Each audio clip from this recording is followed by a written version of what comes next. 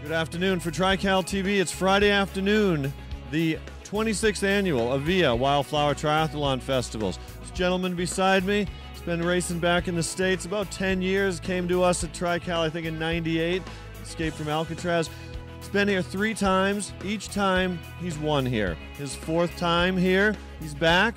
Last October, in Kona, I said to Macca, have a great day. Dixie and the whole crew from TriCal wish you the best on Saturday. He said he wants to get the monkey off his back, have a good day on Saturday in Kona.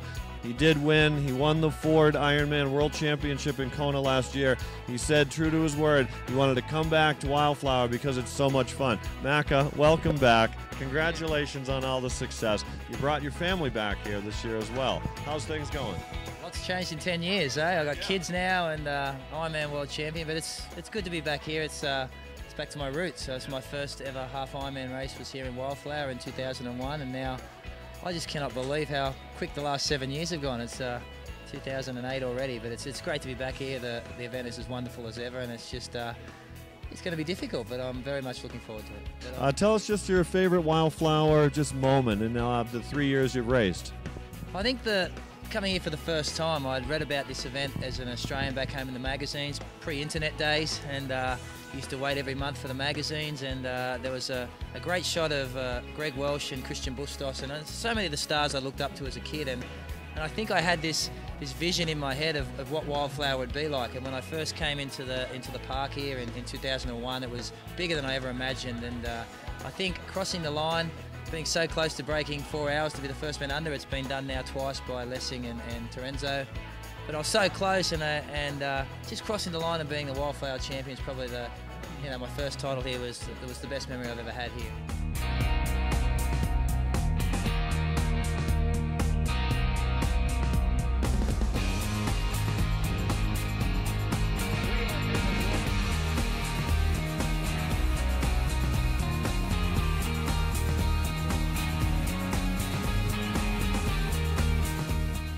Good morning and welcome to the 26th annual Avia Wildflower Triathlon Festival. It is Saturday morning, May 3rd, just a little after 7 a.m. A lot of electricity in the transition area. We're going to have a great race. The men's field and women's field stacked. Unbelievable. 7,500 athletes over the next two days, 3,000 today. It's going to be a great day. So, welcome. It is the Wildflower presented by Avia. All right, we are underway. The men's course, long course, the Avia 26th annual, $20,000 on the line, 200 for the swim preem, brought to you by Two Times You. The men's elite race, the professionals, underway.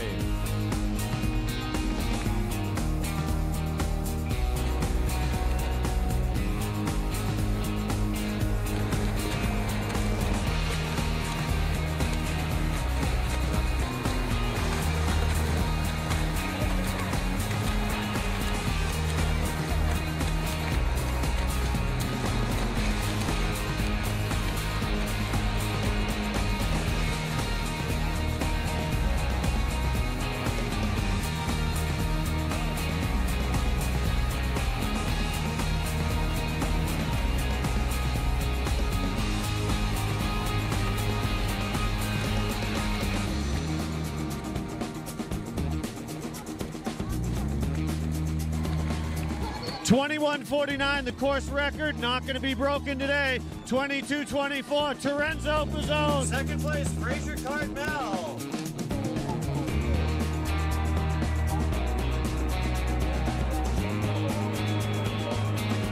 All right, they're coming out in the pack right now.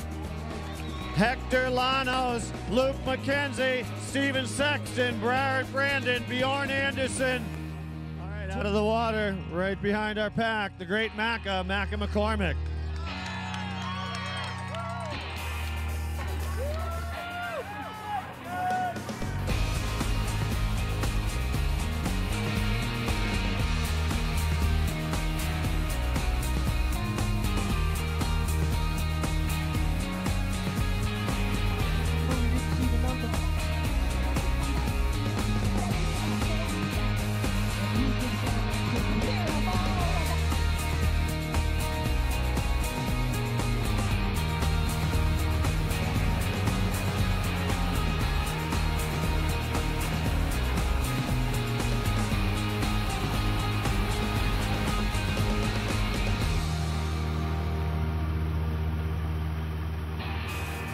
We have our first men's elite in transition right now. Reports have it. It is Bjorn Andersson. Bjorn Andersson ran a road a 215 last year here.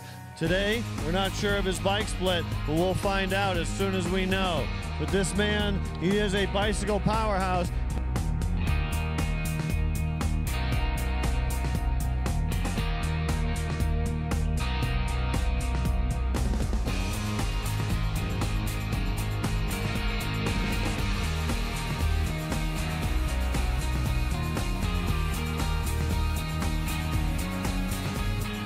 Number 22 here today, Eneko Llanos from España. He and his brothers are here, so they're having a great time here in the States.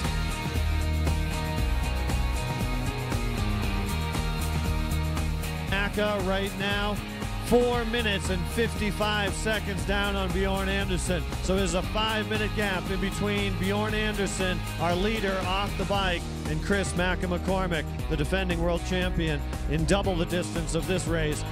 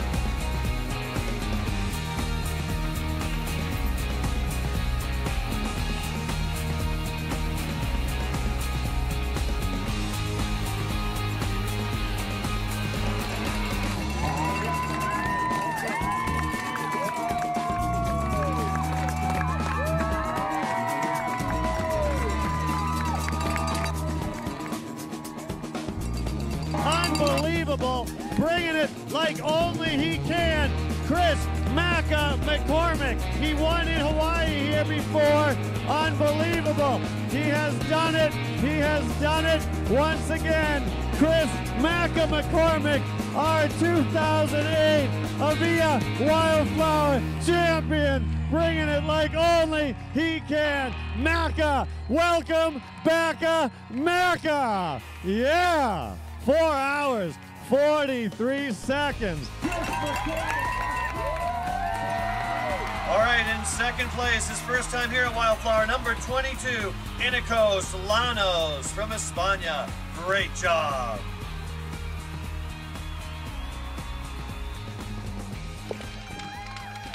You've been here three times before. Your fourth time, you're back. Every time you're here, you win, buddy. How was it out there today? I forgot how hard it was. I uh, I struggled in the swim, and then Chris Lieto gave me a cold when he went past me. He was going so fast. I was like, oh man, I'm getting old. And uh, and then uh, you know this course is all, all starts at 40 miles on the bike. That last section of the hills is just brutal. And uh, we picked up a couple of guys, and uh, you know I just felt good on the run, but you never know. And Nico's such a top runner. He was sixth in Kona or eighth, and uh, I've raced him so many times. And he caught me. I thought, oh great, this is all I need. And uh, I tried to bluff him a little bit. Four titles, wow, stoked. All right, as we can see right there at mile nine, Chris Lieto's hitting the asphalt coming off the dusty path. You're right behind him. Walk us through what's going on there right now, going in second place right behind Chris Lieto. Well, I knew we were going to catch him. We'd been running a lot of time out of him, and I was more concerned of what was going on behind me. At that point, Chris was right in front of me, and uh, one of the guys on the side of the road said, "You've got about 100 yards on on um, Llanos, who I know very very well." And I thought, "Oh, here we go." So it's a downhill to the 10 mile mark turnaround. So I thought, let's let's wait for this guy. Let's relax and um, let's see how he feels, see how he looks. So you moved into first place past Chris Lieto, and then you waited for Llanos to come at you, and here he is. Walk us through that. He got up onto me and um, we sort of felt him out a little bit. We did a few surges and he, he looked um, pretty sprightly. I'd passed him earlier in the run and I knew he was um, struggling on the climbs a little bit. He pushed the bike very, very hard today and I thought, okay, I know this finish. It's a one mile downhill finish. Um, downhill running's difficult if you've got sore legs. So I'm just going to um, I've got to try and get him in, in a position in front of me. He was keen to run off my shoulder or next to me, so I really wanted to put him um, in front of me. So I, I, I, made a little bit of a surge, I think, coming up here and um, hoping he would counter that, which he did, and um, that put him in front of me, and I was able to um, to sit off the back of him, which was exactly where I wanted to be. Here's the surge I I do now, just a bit of a test, and then I, I sort of pull to the right of the road, hoping that he'd counter that surge, thinking this was a move I was going to make on the for the run for home. Um, when it wasn't, I was, I was totally prepared to wait for the downhill. That was that was the plan to try and run away from him. So I pull to the to the right a little bit, and he counters counters the surge and goes past me, which is exactly where I wanted him to be. Traditionally, at this distance, we haven't seen too many shoulder to shoulder running at mile 12 like we're looking at the footage. This is almost like back in 1989 with Allen and Scott going back and forth like this. You were, with your experience, ready to just hammer on the downhill? Yeah, it's uh, you know the the key of downhill running is to get that surprise because once you're in full flight, it's very very difficult to get the legs turning. So uh, I knew if I was behind him, I could see what he's doing at all times, and um, if I wanted to make a move, I'd get that element of surprise. So um, we're, we're, cresting the hill. I thought this is perfect. He's going to have to try and drop me here, and I was feeling quite good. And I said, once we get to that downhill, I'm, I'm ready to. I've got the the ball's in my court. I'm the person who can um, who can dictate the, the run at home, and uh, I wanted him to wonder what I was doing, and uh, he's got no idea what I'm doing now. I'm sitting off him, out of his, right behind him, so he can't see my shadow or anything, and uh, I just want him to wonder what was happening back there. So it was, uh, he did exactly what I wanted to do, which was great. I was very, very happy about that, and um, he's a very, very, very good athlete. It's, it's good to see him in America. I've known Nico since my World Cup days. Him and his brother are very, very strong. Um, you know, they're stellar runners. They're good when it's hot. They're going to be big contenders in, in Kona over the next few years, and he's a very, very strong runner, but I knew he doesn't have, um, he's not a fast runner, he's just a strong, strong guy, and that's why I was um, content on, on waiting for this downhill. Being this was his first time at Wildflower, did you think that uh, his inexperience might uh, have him blow up or maybe pull ahead too fast? What were you thinking there? I was thinking we're close to the finish line now. Anyone can guts it home from here, but I, I didn't know how much he knew about this downhill finish, and uh, I kept telling myself he'd have to be worried about me. If I was in his shoes, I'm the guy who's run the quickest times, and, and he's worrying about me, and this is the, approaching the downhill now.